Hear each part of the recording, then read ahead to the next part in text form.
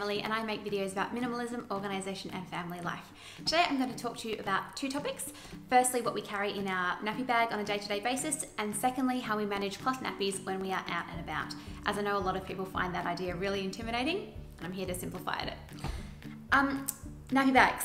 When we started as parents, when we had Violet, we had a giant side carry nappy bag. I'm to insert a picture up here that we took to the hospital with us, and we used as like a labour bag with all my stuff in it. Incidentally, 95% of that didn't get touched. Um, and then, which we tried to use when we got home with her. And within like two weeks, we realised that it was completely impractical. It was massive, it was bulky, it had a really long strap and that you were supposed to hang over. Um, the handle of your pram, but then we realized that that's actually really dangerous because the pram tips over. It didn't tip over with the baby in it, but not a good idea. So I went to my wardrobe and I pulled out this. This is a status anxiety backpack. It's just a small leather backpack um, that I already owned. It's not a nappy bag, it's not sold as such, but this is what we started out using. And I'm like, yeah, great, really practical, really easy, but shouldn't I have a proper nappy bag? So, as I always do, went online and started researching all the best options, and I ended up buying this. This is the Skip Hop Greenwich bag. I think the color is rose. The color is absolutely gorgeous. This thing is great. It has, you know, a, a, special zipped compartment with a change mat in it. It's got a side pocket that's supposedly for bottles if you use bottles. It's got clips at the side to hook it onto your pram without falling over because it, it hangs in nice and close. Loads of pockets. But if you carry this all day, you're going to feel like a turtle lugging around a shell because the thing is massive. And the problem with having a massive space, if you're like me anyway, you just go right ahead and fill it up. So after carrying that for a week or so, I realized that that was not the right choice either. I was stuffing it full of stuff that we didn't need, and I was making and carrying around this bag something of a chore. So with that in mind, we went back to this, and this is where we have stayed for the past 18 months. So I'm going to take you through what we carry on a day-to-day -day basis, how we keep this tiny little bag stocked so that we can just grab it before we walk out the door. It doesn't require packing and repacking particularly, um, and the items that are really necessary when you are doing cloth nappies out and about. So starting with the bag itself, um, it's possibly about 30 or so centimeters tall. It's not very big. We have a bag tag. This is a personalized one from Arlo & Co. It's just a wooden disc. It took ages to get here, um, but it was only about $15 and it's really cute. The bag itself is super comfortable to carry and even though it's leather, it's actually not very heavy. So I'm gonna start in the front pocket. We keep rusks. These are her only packaged snack option. They're not even a snack, they're basically just a um, distraction when she's being whiny or we're waiting somewhere or we are waiting for a meal or she's teething or whatever. Zinc based sunscreen, we don't use chemical sunscreens, this is a physical one. It's really thick and difficult to spread, but you gotta do what you gotta do. Ubiquitous hand sanitizer. Obviously prior to COVID, we only used this if we were somewhere where we couldn't change our, wash our hands after we changed a nappy, like a park. Now hand sanitizer is everywhere you go. And then in the main compartment, oh, this bag has two little slots on the side, which are actually the perfect size for my card holder, which is my wallet, and my phone on the other side, so love that. In our main compartment, we have our wash bag and nappy mat, which I'll go through later when I talk a bit about changing nappies. Sun hat, silicone bib. I don't remember the brand of this one, but I really like it because it squishes up very small and is really easy to wipe for when our little messy person is having a meal. Change of clothes, obviously changes with the season. Right now it's leggings and a long sleeve shirt and a light jacket, which folds up really nice and, and small. Then with, there's a, a slot in the back of the bag. It's just like a fabric pocket. This is for the stuff we don't use very often. I have a folding grocery bag this is stainless steel cutlery set. If we're somewhere where they are using disposable cutlery or it's not available, I try to avoid that. So that's got, this is seed and sprout. It's got a straw, chopsticks, knife, fork and spoon. They're all stainless steel and a napkin. I can't say it gets a lot of use these days, but it's good to have and it's tiny. And then we have a pair of socks for me, a pair of socks for Violet, and our Play Centre loyalty card. I learned the hard way that you have to wear socks to a Play Centre. I honestly had no idea. Um, and I made that error and then had to buy their really gross, bright, ugly branded socks.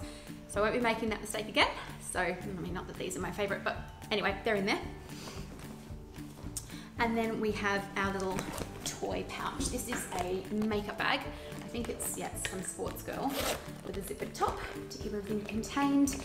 I keep toys in here that kind of don't necessarily belong to a category or that we have duplicates of, like um, the little instruments that are in here. These are toys that can be used individually, um, but to be honest, she kind of loves playing with the zip on the pocket, probably the best. So we have a, a couple of board books. These are tiny little Hairy Maclary ones. They don't have, you know, a whole lot of detail in the story, they're portable and she kind of will just talk to herself about the pictures. She's obsessed with ducks, so that works. Wooden maraca, wooden castanets, her sunglasses. These were just in the bathroom, but she kind of was driving me nuts by constantly insisting that I wear them and they're just not my style, so I hid them in the nappy bag. Little uh, kaleidoscope, this is Maida, which is a really gorgeous wooden toy brand. They make lots of spinning tops and stuff. My sister got this overseas um, and brought it back. Violet can't close one eye and look through it yet, but she, she understands that you look through it, so she walks around sort of pretending to be a pirate. Little ladybird spinning top, also from my sister. Violet's actually pretty good at spinning this, surprisingly. And the Grimm's small Spirelli. Really beautiful sort of concentration calm down toy. Ooh, I think she's up. She can't use it very well yet, but she's getting there. And in the meantime, I like to use it.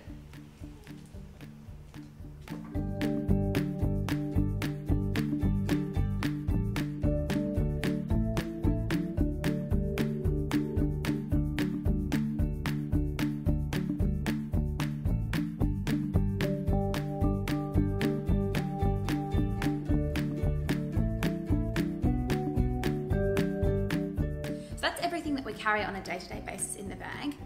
To add to that, we add obviously my daily essentials, which are basically my card holder that I use as a wallet, keys, phone, which is being used, headphones, and then for Violet, um, sippy cup. This is the Cherub Baby glass one. She doesn't drink out of plastic with a silicone lid to it. There's also a straw version of this. They're really good.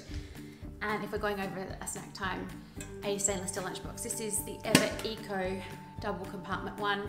We have a few different configurations depending on where we're going and what we're taking and so on. And then obviously at, um, at the moment, we will often add a cardigan or a jumper. Um, I tend to take those off her before putting her in the car seat so that she's not too bulky and she doesn't get too hot. So the second major part of this video was how we deal with nappy changes for cloth nappies while we're outside the house. I know a lot of people really struggle with the idea of using cloth outside of their home. You know, it's out of your comfort zone. You don't quite know how to deal with wet or dirty nappies, and the idea of just being able to throw a disposable away probably seems really easy, and you know, to some degree it is. But I would argue that combining part-time cloth and part-time disposable actually makes things a lot harder for you if you can find one really good wash routine, really good nappy routine and stick to it, you're gonna find that you have a lot less thought processes. You don't have to decide, oh, are we doing cloth here? Are we doing disposables here? What do I need to take? What am I gonna do with all the, the different things? And it's not gonna stuff up your wash routine because when you wash cloth nappies, you need to have a certain amount of nappies to put through the wash to ensure they have the right loading and they actually get properly clean when they go through your machine. So with that in mind, here's how we do cloth nappies out and about. Like anyone who's changing a baby, you throw out your portable change mat. This is, I think, I got this as a baby shower gift, baby gear. I think it's from Big W. You have a wet bag for your cloth nappies. This is a double-sided one, which is great. So it has a compartment where we keep our clean nappies and then a compartment where we keep our dirty nappies. We also have two separate ones that we use when this one is being washed because you do throw them in the wash occasionally. And then we'll have one bag for clean and one bag for dirty. Super simple.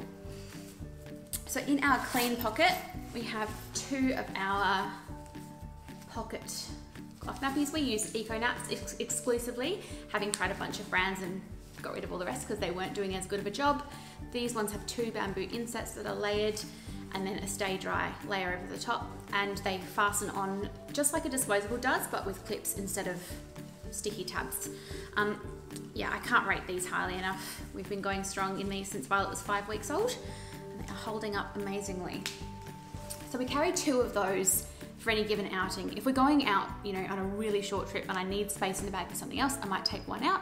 If we're going out for a whole day, I might add a nappy or two.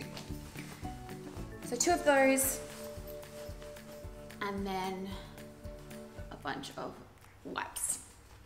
I usually carry about six cloth wipes. I use one for a change uh, for a wet nappy and I could use maybe four for a dirty nappy if it's a bad one. Um, she's just kind of started toilet training a bit for that side of things, so that's made things easier. And then I've actually got in here space for the dirty nappies. So when you take a nappy off, you would wipe with these. Now, some people put their clean cloth wipes in a container of water and take that out and about with them. I don't do that because you actually have to think about how long the, the wipes have been in the water. Obviously, if something's sitting in kind of tepid water for a while, there's the potential for it to become a bit gross and moldy. Too much effort um, in my mind. So if you haven't got somewhere with a tap that you can just wet the cloth wipes, I just tip my drink bottle up onto it. Does the job perfectly fine. You take off your dirty nappy, you roll it up, is one I preferred earlier, and you can snap it shut just like a disposable if you need to. Stuff it in your dirty section of the bag and replace with your clean one and you're all done. Obviously when you get home you have to take the nappy apart and put it in your wash routine. If you're somewhere and you have a dirty one, you might want to be able to sort of tip it into a, into a toilet, but you know, you can just wrap it up. Um, it's really usually not that big of a deal and we've never had any issues doing it that way. So I hope that if you're a cloth nappy family or you're somebody who's considering cloth nappies, that gives you a bit of confidence to say that it really is really easy. Um, and I think with cloth, it's one of those things that you just commit to, and even more so, I know for us with Violet being our first and only child, we've kind of put ourselves in the position where we don't know any differently. So it's our normal and therefore it's super easy. If you're moving over from using disposables, it might seem a little bit intimidating, but I can promise that in terms of cost, even with buying probably on the more expensive end of nappies, it absolutely pays off and the environmental benefits yeah, are absolutely massive. Yes, you do use more water and more energy to wash the nappies, but compared to maybe 5,000 nappies in landfill over the course of your child's life, you're still doing pretty well. Uh, so that's where I'm going to leave it for today. Thank you so much for bearing with me and watching, and stick around for more videos on minimalism, organisation, and family life. See you next time.